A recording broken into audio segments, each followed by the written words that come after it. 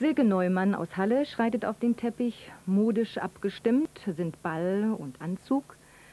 Zum Auftakt kommt der Ball selbst in dieser Schräglage nicht ins Rollen, aber dann.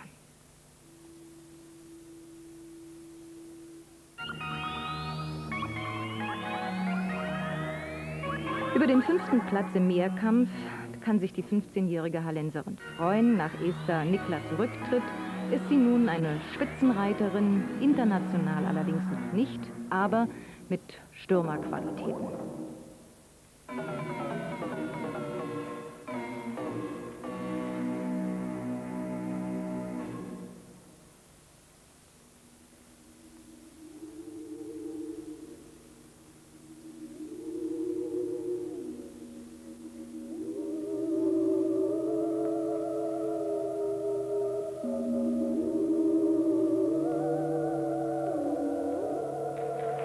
Sehen Sie es, gefangen kann der Ball mit allen Körperteilen werden.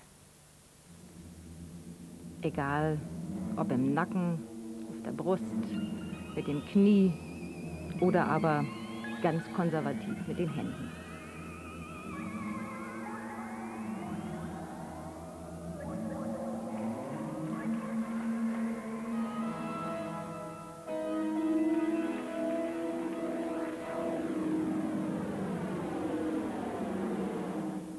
9,6 erhielt sie und das war der vierte Platz, gemeinsam mit Lenka Delikova aus Brno in der